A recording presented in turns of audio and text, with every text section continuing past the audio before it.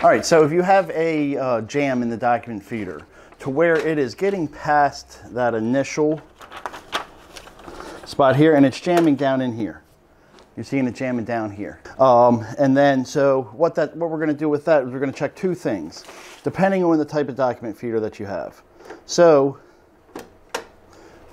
this one is a dual scan document feeder where it'll hold 300 sheets of paper at the top and it scans both sides at once. So this one's just a little bit bigger and has a little bit different process than the conventional uh, reversing, auto, reversing automatic document feeder uh, that's just a little bit smaller. So with this one, first thing you want to do, big mistake people make, if you open this bottom part here, you open it here in order to clear a jam, don't close it here. If you close it back where you opened it, it leaves this part down here open down at the bottom. What you want to do is you'll see this little green sticker there. You want to close it at that sticker. Makes it nice and tight all the way down. Okay?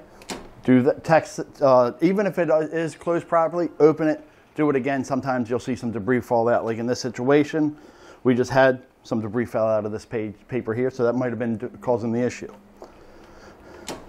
So go through, make your copy again, see if it happens. If it continues to happen, then what we're going to do is run a file folder through down here. This is something, the first thing the tech's going to do whenever they come out in this situation.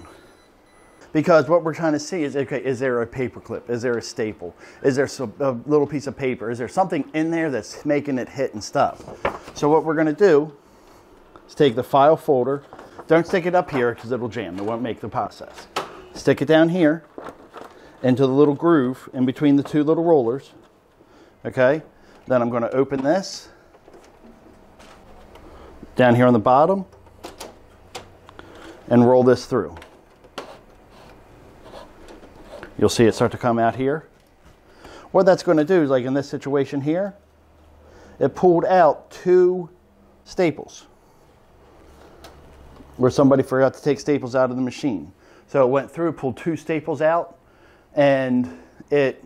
Uh, this is probably what's causing that jam. 95% of the time, that's what's going to be causing it. And It also, if you can zoom in here a little bit, it also pulled out all this debris, all these little pieces of paper, all these little pieces of dust, all that type of stuff. So it's going to push out all that stuff. It's just a more rigid piece of paper going through there, pushing that stuff out. So then all you do, don't pull it after you get to here, don't pull it, just keep rolling it through until you get to the, all the way to the end. You want to use a file folder, um, like construction paper, something that's a little more rigid. Then we're just going to close this back up. Put that down. Now before we do it, because we do want to make sure we got everything, go ahead and go through that cleaning the slick glass process. So we're just going to wipe off this area, soft cloth, go ahead and then also either use an alcohol wipe or a uh, spray some Windex on a paper towel. Just wipe this area off because a little bit of debris in here can end up getting into stuff and it cause an issue. So go through that process, make your copy again.